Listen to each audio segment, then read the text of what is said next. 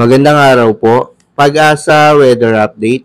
Alamin na lagay ng panahon ngayong araw ng Miyerkules, November 8, 2023.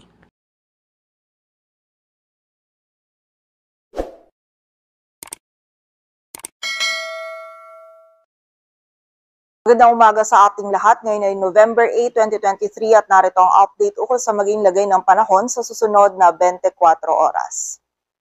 Patuloy pa rin umiiral ang easterlies dito sa bahagi ng Southern Luzon, Visayas at Mindanao kung saan ngayong araw dala pa rin ito yung mataas na tsansa ng mga pag-ulan, pagkidlat at pagkulog lalong-lalo niyan sa bahagi ng Visayas at Mindanao. Samantala, ang northeast monsoon o amihan naman ay umiiral pa rin dito sa bahagi ng extreme northern Luzon kung saan meron din itong dalang maulap na kalangitan at mga pag-ulan sa bahagi yan ng Batanes at Babuyan Islands. At sa kasalukuyan ay wala tayong minomonitor or namamataan pa na sama ng panahon na maaari makaapekto dito sa ating bansa. At para nga sa maging lagay ng panahon ngayong araw ng Miyerkules, Malaking bahagi ng Luzon, lalong-lalo na yung silangang bahagi nito at itong Southern Luzon, ay makakaranas ng mga pag-ulan, partikular na yan dito sa Mimaropa, Bicol Region at dito sa bahagi din ng Quezon, dulot yan ng easterly. Samantala, magiging maulap din yung kalangitan at meron din tayong mga kalat-kalat na pag-ulan pagkidlat at pagkulog dito naman sa bahagi ng mainland Cagayan, Isabela at Aurora na posible namang dulot ng shear line. So pag-iingat po para sa ating mga kababayan sa posibilidad ng mga pagbaha at pagguho ng lupa. Samantala, dito naman sa bahagi ng Batanes at Babuyan Islands ay meron naman tayong mararanasan na maulap na kalangitan at mga pag-ulan na dulot naman ng northeast monsoon o amihan. At dito po sa Metro Manila maging sa nalalabing bahagi pa ng Luzon ay magiging bahagi bagyong maulap hanggang maulap yung kalangitan or generally fair weather condition pa rin yung ating mararanasan.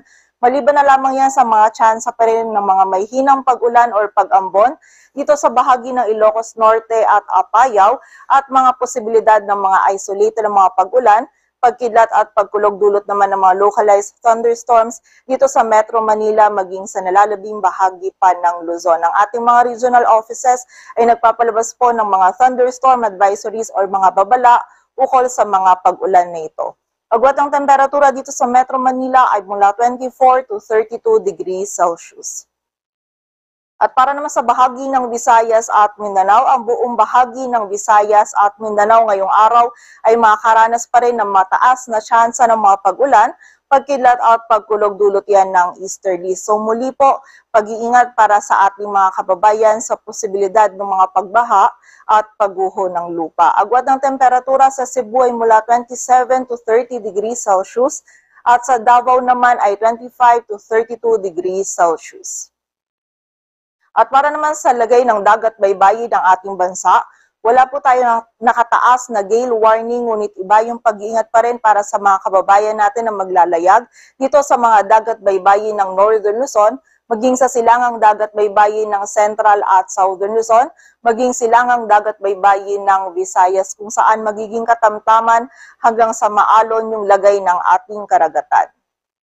At para naman sa 3-day outlook ng mga key cities ng ating bansa, In the next 3 days, bukas yan ng Webes hanggang sa Sabado, malaking bahagi po ng ating bansa ay makakaranas na ng bahagyang maulap hanggang sa maulap na kalangitan or generally fair weather condition. Maliban na lamang yan sa mga tsansa pa rin ng mga isolated ng mga pag-ulan, pagkidlat at pagkulog dito yan sa Metro Manila, Baguio City, Legazpi City, Metro Cebu at Metro Davao kung saan during severe thunderstorm posible pa rin po tayong makaranas ng mga katamtaman hanggang sa mga malalakas na pag-ulan na maaaring magdulot ng mga pagbaha at pagguho ng lupa.